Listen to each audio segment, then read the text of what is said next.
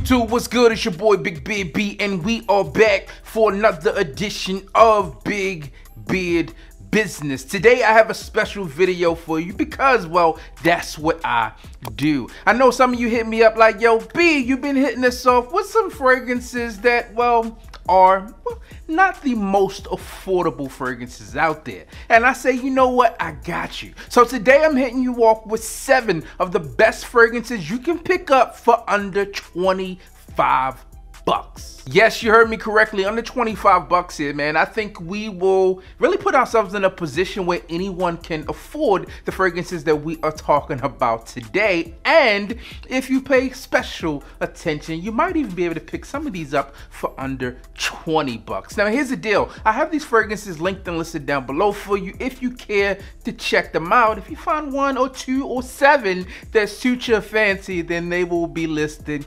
down below. Now, the first fragrance I want to talk about today is one from a guy who knows what he's doing when it comes down to style, fashion, setting trends. And this is from the house of Sean John, and this one is none other than Sean John's 3 AM. Now, 3 AM is a fragrance that I've talked about on this channel for multiple occasions because this fragrance is just a all-around great scent. I actually came across this one someone who worked with me years ago and this thing has just been something that I smelled on them over and over again and I was always intrigued and it turned heads. I thought this was a niche fragrance when I smelled it. It's extremely easy to wear. And some of your notes with this one, it's a freshie. So expect things like bergamot, mandarin, cardamom is in here. You also have some fig leaf, I believe. Just a great scent that I don't think you will go wrong with. I know a lot of you out there hit me up when I exclude this one from a list. Like, yo, B, what were you thinking? And right now, I'm thinking it needs to be on today's list. Sean John's 3 a.m. Next up on our list today, we have obviously another extremely affordable fragrance. And this is one that I've talked about from time to time, but it doesn't get a lot of airtime here on this channel. But the fragrance is good nonetheless. The fragrance comes from the house of Guess, and this one is Guess 1981 Los Angeles, not to be confused with the other Guess fragrances out there. Now, this fragrance to me is very different than what we talked about when it came down to the Sean John fragrance. Guess obviously has been doing fashion for years, and they really made this one a player in the game, so to speak. Now, I know a lot of you out there are thinking just like I'm thinking that this reminds you of something if you smelled it. And if not, this fragrance is going to remind you of that from Versace, which is the original Versace Eros. Now this fragrance does have some mint, you have plum, you have mandarin within this fragrance, but it provides this warm, spicy feel, but it also has this underlying freshness to it that just makes this fragrance works. If you're looking for an attractive fragrance, one that really just checks all of the boxes that you would experience with something like Versace Eros, but for a more affordable price point. Now, this one isn't as long lasting as the original Versace Eros if you have one of those original bottles, but it is a moderate performing fragrance, so you should be okay as it comes down to it, especially for 25 bucks. So be sure to get your nose on this fragrance. It's one that you would likely want to add into your collection, especially if you are on a budget Guess 1981 Los Angeles. Now, the next fragrance I want to talk about today is one that I originally came across within, I believe it was Neiman Marcus or possibly Nordstrom's. And this fragrance has been in my collection for years and I've purchased multiple bottles. This one was like love on first sniff for me. Not only did I purchase a bottle for myself, I purchased a bottle for a friend who was with me because this thing is dope. The fragrance comes from the house of Mandarina Duck, and this one is Mandarina Duck Pure Black. Now, there are a lot of other Mandarina Duck fragrances out there, but when it comes down to me and what I'm looking for, I think that this one takes the cake. You get something with this fragrance that has this underlying sweetness and warmth to it and that's what I really enjoy about this fragrance. It's almost this oriental vibe but you get this sweetness from the vanilla within this fragrance which happens to be Madagascar vanilla and it is just an amazing scent. Now in addition to that Madagascar vanilla you also get tonka, you get um, pepper within this fragrance, and then you also get some some tangerine here. Um, it almost again has this oriental vibe to it that is just a great, great performance scent. That subtle sweetness within this fragrance may not be everyone's cup of tea, but um, the great feedback that I've gotten from this fragrance over the years is really one of the reasons why I continue to put this one in the forefront. Now, as I mentioned, these fragrances are under 25 bucks, and for retail, I purchased this fragrance in 2009 for maybe 2009, maybe 2010, something along those lines for about 90 bucks per bottle. So if you can find this one out there on the gray market for under that $25 price point, then you are good to go. Let's go! Make sure you try this fragrance if you have not tried it out. Let me know if you've ever dove into the House of Mandarina Duck. I haven't tried all of their fragrances. Really, this is like a one and done for me. I know they have a ton of fragrances out there, but that's the one that I go back to over and over again. Now, if you're anything like me, the compliment factor is just something that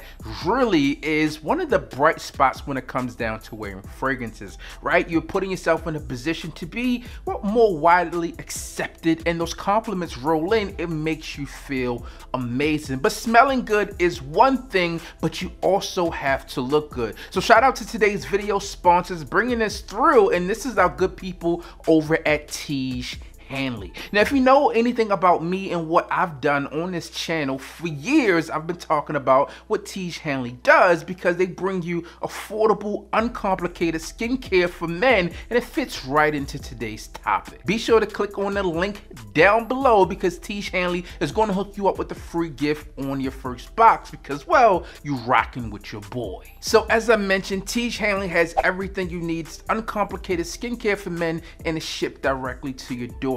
You can start off with the level one skincare kit to make sure that your skin tone, your skin appearance, and your hydration is on point. Go ahead and start off with their facial wash. You use this once in the morning and once at night to make sure that your skin is hydrated and clean. Next, one of my favorite parts here is going to be your facial scrub. You use this twice a week. It's going to make sure that you're removing all that dirt and grime from your face so you can be looking your best. And you'll also include in your AM and PM moisturizer. The AM moisturizer has that built-in SPF, so when you're roaming the streets smelling your best, you can also look your best and make sure that your skin is protected from the sun. That PM moisturizer, that's going to make sure that your skin is rehydrated at night and help repair it so you wake up feeling and looking that much better. And one of the final things I want to throw out there with Tiege Hanley, everything can be mix and match. If you want to start off with level one, perfect. And if you work your way up to level three like your boy,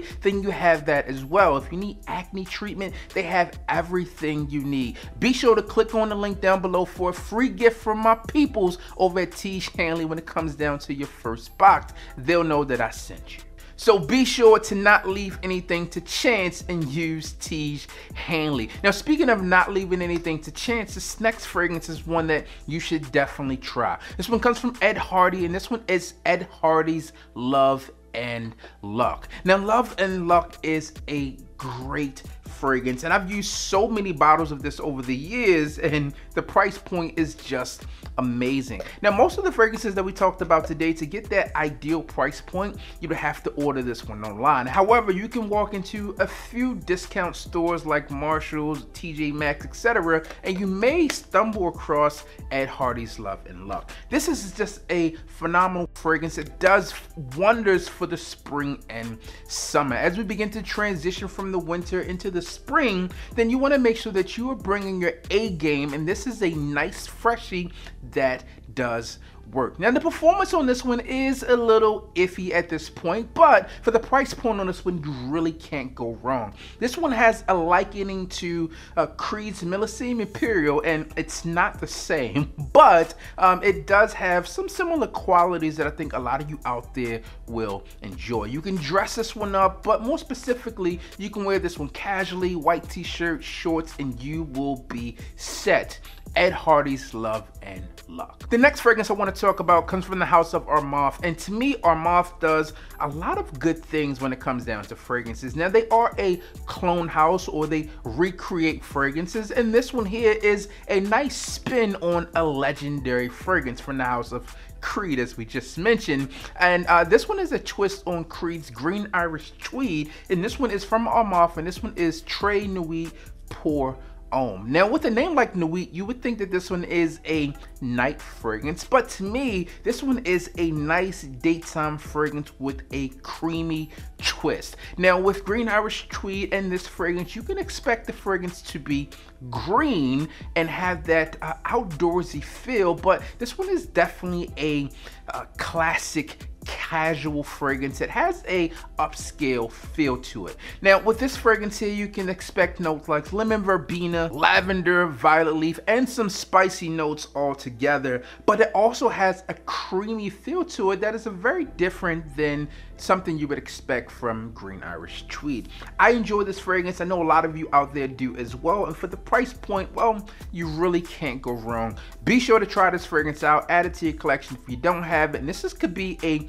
good starter fragrance for uh, a kid out there as well if you're looking to share a little fragrance love with some people in the household. Now the next fragrance that we'll talk about is a legend in its own right and the fragrance really needs no introduction but obviously we're doing a list and I have to introduce it. The fragrance comes from the house of Nautica and this one is Nautica Voyage. Now Nautica Voyage is green, it's fresh, it's fruity, it's floral and it also has this underlying powdery feel to it. As you would expect with the name like Nautica Voyage, you would expect this one to be an aquatic fragrance, and it definitely is that, but it lacks a super saltiness that you get with a lot of aquatic fragrances, and that I personally enjoy with the scent. Now, there is some saltiness here, but this one is more powdery, more creamy, and just an overall inviting, fresh, green, fruity scent. It's one that I personally enjoy, and again, as I mentioned, this one is legendary in its own right because for the price point, it checks a ton of boxes.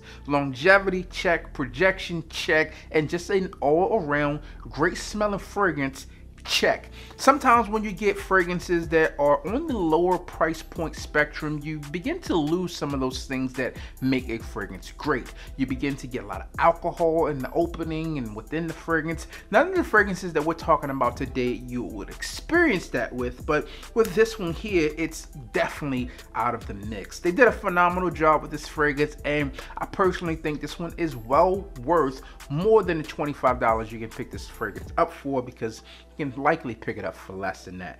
Great fragrance stands out on its own Nautica Voyage. Now the final fragrance I want to talk about today is a fragrance that I've had maybe I think probably at least 10 bottles of over the years and it's just a top tier scent in my personal opinion. This one also comes from the house of Sean John and this one is Sean John's Unforgivable. Now there's another fragrance on this list today that has a similar vibe but it's different, and I believe that this one is the superior fragrance between the two. And the fragrance that I'm comparing this one to is Ed Hardy's Love and Luck. Now, it's said that these fragrances were both modeled after um, Creed's Millesime Imperial, but this fragrance does its own thing. Just like Diddy would do, bad boy, take that, take that. Take this fragrance, spray it on, and go on about your day, and you are going to smell amazing. Compliments are going to roll in. Plus, if you're using my people over at Tiege Hanley, I think Diddy would be happy as well, because he's going to say,